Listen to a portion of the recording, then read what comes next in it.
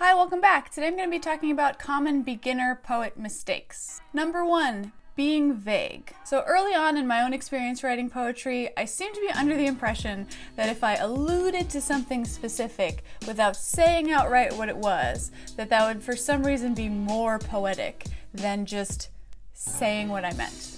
At this point, I don't feel this way anymore. I think that being intentionally, obviously vague about something is just kind of annoying for the reader. You're like that kid on the playground who tells you they have a secret, but they're not telling what it is. Take, for example, this line from a poem of mine that I mentioned in my reading cringy old poetry video.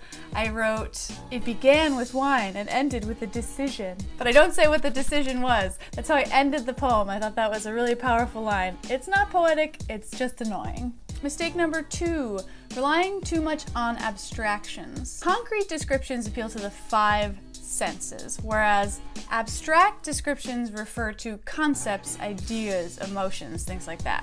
Of course, there's nothing wrong with mentioning or exploring concepts and abstract ideas in your poetry. Of course, you're going to do that. But a lot of beginner poets completely forego concrete descriptions in favor of a lot of abstractions, and they basically just name these concepts, ideas, emotions without really exploring them, without a lot of interesting similes or metaphors or poetic techniques of any kind. By simply naming an idea without describing it, you're really missing an opportunity for your reader to more viscerally experience that idea. And this also falls into that trap of vagueness because while sure everyone's experienced sadness, for example, it doesn't necessarily feel identical to all of us. It's often easier to relate to and imagine sensory descriptions like the smell of grass, which is, like I said, concrete. Mistake number three, rhyme without reason. Using rhyme in your poetry effectively is really difficult. I think that if you want to rhyme in your poetry, you should spend some time studying forms, learning about meter, learning about rhythm, learning how rhyme has historically been used in poetry. If you simply throw in a rhyme or two in an otherwise free versed poem, it stands out and usually not in a good way. Rhymes can be jarring, they can seem really cheesy, they can feel sing-songy or childish if they're not done well. It's an especially bad idea to force a rhyme either by moving around the syntax or by using a word that is obviously not your first or second or third or even fourth choice. It makes it seem like maybe you've been fiddling with a thesaurus to find something that rhymes. This takes the reader out of the poem and makes them too aware of your own thought process. And sure, let's take a moment to recognize that Shakespeare did this all the time. There's a really great Bo Burnham joke about it where he says, Poetic talent is really easy to fake when thy sentences doth no effing sense make. And I'm not ragging on Shakespeare, I'm just saying that if you suddenly, for one or two lines of a modern free verse poem, write in a style that is hundreds of years old, you're not gonna get away with it. So when in doubt, just don't rhyme.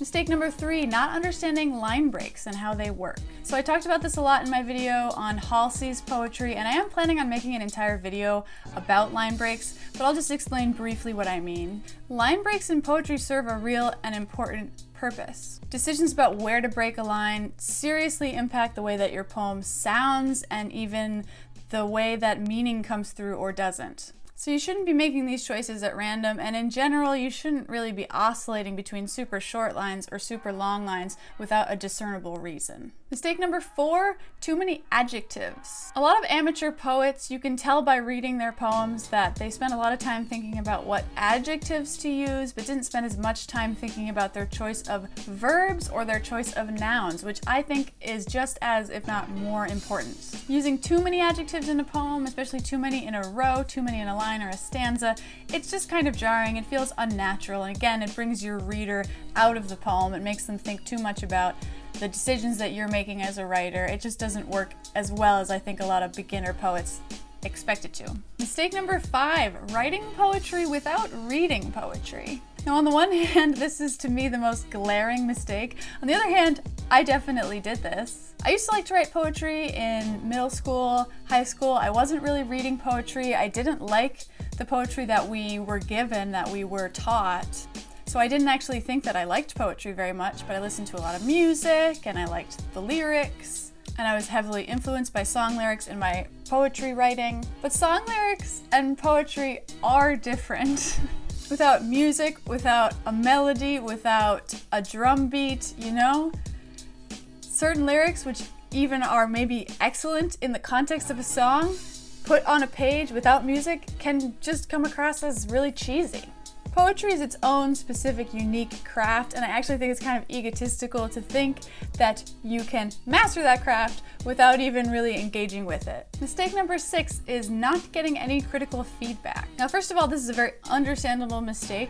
It feels really vulnerable to share your work with people. Not everyone can afford to pay for manuscript feedback or to take a course, but no matter what genre you're writing in, you're really not going to get much better if you don't get outside feedback. You don't always have to take the advice that you're given, but it's important to get some advice beyond what you are able to recognize and what you are able to learn. Even if you can find just one friend to trade work with, that will make you a better writer. And often giving feedback can be just as helpful to learning the craft as receiving feedback. Giving feedback forces you to articulate reasons for the way that you feel. You can't just say, I think you should cut this line. Why do you think they should cut this line? Plus, it can just be easier to write when you have a little bit of a support system. Mistake number seven, you've probably heard of before, is mixing metaphors, but I would also add using too many metaphors. A mixed metaphor is when you combine two incompatible metaphors and it sounds dumb. The Oxford Dictionary example is this tower of strength will forge ahead. Now you can mix metaphors in fiction, in any type of writing, but I think it comes up a lot in poetry. People know that poems involve metaphors, that metaphor is a common poetic technique, and as a result, beginner poets often overuse and poorly use the technique of metaphor. And even if you aren't mixing metaphors, like I said, using too many, using two or more metaphors in a single stanza can crowd them. I'm not saying that's always the case, but I would recommend trying to limit your metaphors, really see them through. Spend more time with them, use some concrete description, really show us the logic of your chosen metaphor. Mistake number eight is using cliches and something that I'm gonna call the opposite of a cliche. So I spend a lot of time this channel railing against cliches. That's because I just don't really understand why anyone would use it. There is just no reason to include a phrase like raining cats and dogs or the apple of my eye in your writing, ever. It's a very, very, very easy piece of advice to follow. To me, practically the entire point of writing a poem is to say something in a unique way. So if you're using a phrase that is a common cliche or idiom, a saying, just don't. Find your own way to put it. That's kind of the whole point. Similar to cliches, Sometimes beginner poets will use similes that are just way too obvious. Like I've said before, don't approach writing a simile like you're on Family Feud. When comparing two things, the comparison shouldn't be so obvious that anyone can think of it, and it shouldn't be so wacky as to be completely absurd. If you say that your heart sank like a ship taking on water, that's boring. If you say that your heart sank like an ant crawling into an anthill, that's weird and doesn't make any sense. The best similes, and in fact the best poems, are surprising yet logical. You think, oh wow, I never would have thought to describe it that way, but I know exactly what you mean. It's that midway point between cliche and absurdity. It's not the first thing to come to mind, it's not the last thing to come to mind. It's somewhere in here. Mistake number nine, only writing confessional poetry. Now there is nothing wrong with confessional poetry. I write it a lot, I read it a lot, I love it. But I think a lot of beginner poets don't even realize that you can write poetry that's not about you or that's not from your perspective. In poetry workshops, there's an understanding that you should never assume that the speaker in the poem is the same person as the person who wrote it. The speaker can be a totally fictional character. Now, most people, most of the time, are writing from their own perspective to the point where this is kind of like a joke in the poetry community. See, for example, this really excellent tweet that I saw recently. But I think even just understanding that you are allowed to write from a fictional perspective that you're allowed to write about stuff you haven't personally experienced can really broaden your horizons. It can make your poems more interesting. And my 10th and final tip is pretty similar to the last one. It's limited or narrow topics. A lot of beginner poets just seem to circle around the same topics as if there's the only thing you could possibly write about. And the most common one probably is mental health. Now again, I love poems about mental health.